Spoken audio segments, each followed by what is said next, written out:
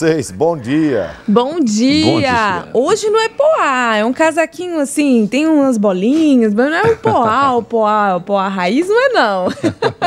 Bom dia, Fábio. Bom dia, Fábio. Começando a semana, né? Muita coisa acontecendo e a gente tem que realmente ficar atento a todos os fatos.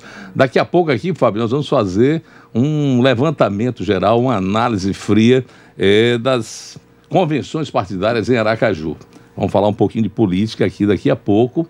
E candidato por candidato, candidata por candidata, temos sete nomes é, entrando na disputa pela Prefeitura de Aracaju, sete bons nomes, diga-se passagem. Não consigo vislumbrar ninguém aqui que não tenha condições de assumir a prefeitura. Mas é o povo que vai decidir quem é, qual é o melhor nome. A surpresa você que acompanha de perto também o processo político, foi a dificuldade para os candidatos nas últimas convenções agora, Candice Carvalho do PT e a Daniele Garcia do MDB, para escolher o candidato a vice, né? Ficou aquela celeuma, aquela preocupação, quem vai ser, quem não vai, enfim. Acabou que os professores tomaram é, o, o protagonismo. Nós temos uma professora com Candice, que é a professora Rosângela, e temos o professor Aislan Araújo com Daniele Garcia. Os outros nomes citados, Robson é, e o nome de, de Jorlise Teles, acabaram ficando fora do processo é, de disputa. É, Robson Viana, porque ninguém sabe qual foi a decisão aí.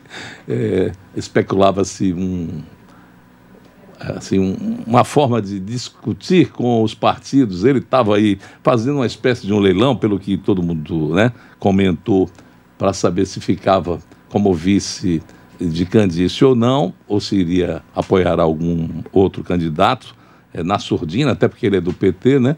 E no caso de Daniele Garcia, se falou muito em Jorlise Teles, mas Jorlise não topou e ela trouxe aí um professor cara com um gabarito muito bom, um cara com um currículo que é sensacional também. Então, qualificado. Qualificado, né? qualificado. E o professor Aislan Araújo assumiu a condição de vice, né?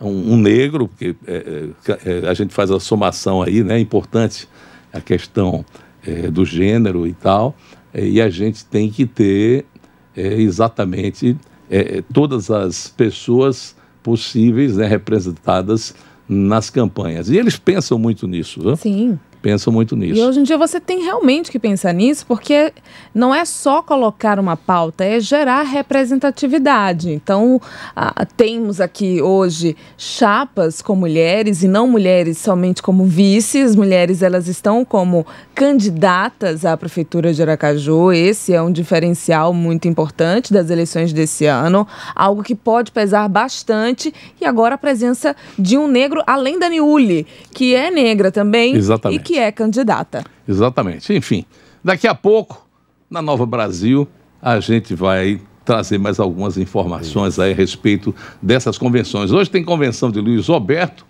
vai estar, tá, meu Deus do céu, tá todo mundo junto lá, né? Pelo menos se espera, né, que todos os apoiadores estejam presentes nessa convenção, que promete ser uma grande convenção. E tem o novo, Partido Novo, com o procurador o Zé Paulo, que é um nome também muito preparado.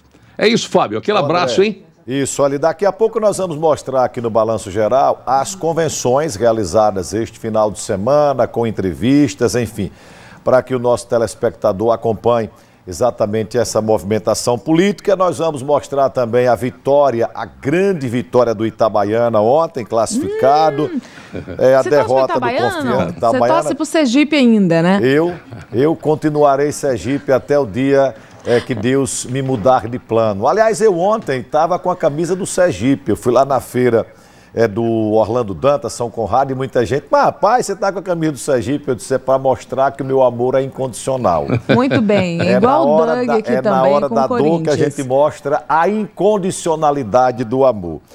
Mas o Confiança perdeu, infelizmente. Já falamos aqui, vamos falar mais sobre licitação do transporte coletivo. Bom. Mostramos há pouco um vazamento lá no Santa Maria, uma caçamba caiu é, num buraco provocado pelo vazamento, vamos atualizar, enfim, muitas informações aqui no BG. Uma ótima semana para vocês. A gente vai se encontrando aqui, trocando informações. Ótima